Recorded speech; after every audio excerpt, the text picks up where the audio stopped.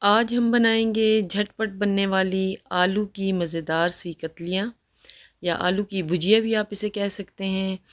تو آپ یہ آلو کی کتلیاں بنا سکتے ہیں ناشتے میں پراٹھے کے ساتھ، یا آپ اسے انجوائے کر سکتے ہیں چپاتی کے ساتھ۔ تو آئیے مزیدار سی یہ جھٹ پٹ بننے والی سبزی تیار کرتے ہیں۔ تو سب سے پہلے میں نے تھوڑا سا لے لیا آئل تقریباً ہاف کپ سے بھی یہ کم ہے۔ اور اس میں میں نے ڈال دیا ہے ایک ٹیبل سپون زیرہ۔ سفید زیرہ، اسے ہلکا سا کڑکڑا لیں گے اور جب اس میں سے اچھی سی خوشبو آنے لگے گی تو ہم اس میں شامل کریں گے ادرک اور لہسن کا پیسٹ۔ ایک چمچ بھر کے میں نے ایڈ کر دیا ہے۔ اچھا میں آپ کو بتاتی چلوں کہ میں یہاں پہ ہاف کے جی جو آلو ہیں ان کی کتلیاں بنا رہی ہوں۔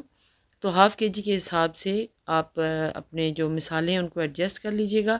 تو یہاں پہ جسٹ تین مسالے میں نے ایڈ کیے ہیں، ہلدی، سرخ مرچ اور نمک۔ تو یہ بھی آپ اپنے ٹیسٹ کے اکارڈنگ شامل کریں۔ میں نے ہاف آف ٹیبل سپون جو ٹی سپون سوری اس میں ایڈ کیا ہے۔ تو اب یہاں پہ تھوڑا سا پانی کا چھینٹا لگا دیا ہے۔ ایک چھوٹا ٹماٹر میں نے اچھے سے چاپ کر کے اس میں ایڈ کر دیا ہے۔ تو بہت سمپل وے میں یہ آلو کی کتلیاں بنتی ہیں، لیکن انتہائی ڈیلیشیس بنتی ہیں۔ آپ ضرور اسے فالو کیجیے گا۔ یہاں پہ ایک ہری مرچ میں نے کاٹ کے اس میں ڈال دی ہے۔ تو یہاں پہ اس کو کور کر دیں گے تاکہ ٹماٹر اچھے سے سافٹ ہو جائیں۔ دو منٹ کے بعد یہ دیکھیں ٹماٹر سافٹ ہو چکے ہیں اور اس میں میں نے آلو ڈال دیے ہیں۔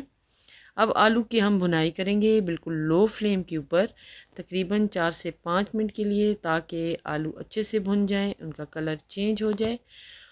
تو یہ آلو کی کتلیاں جھٹ پٹ گل جاتی ہیں، اس میں پانی شامل کرنے کی ضرورت نہیں ہے۔ ہلکا سا اگر آپ چھینٹا لگانا چاہیں تو لگا لیں، ورنہ اس میں پانی ڈالنے کی ضرورت نہیں ہے۔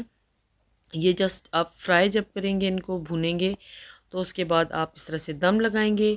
چار سے پانچ منٹ کے لیے جو دم لگے گا، اسی میں یہ آلو جو ہیں اچھے سے سافٹ ہو جائیں گے۔ یہ دیکھیں، آلو کا اپنا قدرتی موئسچر بھی ہوتا ہے۔ تو آلو یہ دیکھیں ہمارے ڈن ہو چکے ہیں، مزیدار سے۔ جسٹ فائیو منٹ میں آپ یہ جھٹ پٹ بننے والی آلو کی بھجیا یا کتلیاں تیار کر سکتے ہیں۔ اب بالکل اینڈ پہ اس میں کٹا ہوا دھنیا میں نے ایڈ کر دیا ہے اور اس کے ساتھ ہی تھوڑا سا گرم مسالہ ایڈ کریں گے۔ کالی مرچ اگر آپ کو پسند ہو تو چٹکی بھر وہ بھی ایڈ کر دیں۔ بس اب آپ نے ان مثالوں کو اس میں اچھے سے مکس کر دینا ہے اور ان کی اچھی سی خوشبو اب ان میں بھجیا میں آنے لگے گی۔ تو یہ گرما گرم جو ہے آلو کی کتلیاں یا بھجیا آپ پراٹھے کے ساتھ انجوائے کریں یا چپاتی کے ساتھ انجوائے کریں۔ تو لیجیے جی اب اسے کر لیتے ہیں سرو تو یہ مزیدار سی ہمارا سالن آج تیار ہو چکا ہے۔ دعاؤں میں یاد رکھیے گا اور اگر ویڈیو اچھی لگی تو پلیز چینل کو سبسکرائب ضرور کر کے جائیے گا۔ اللہ حافظ۔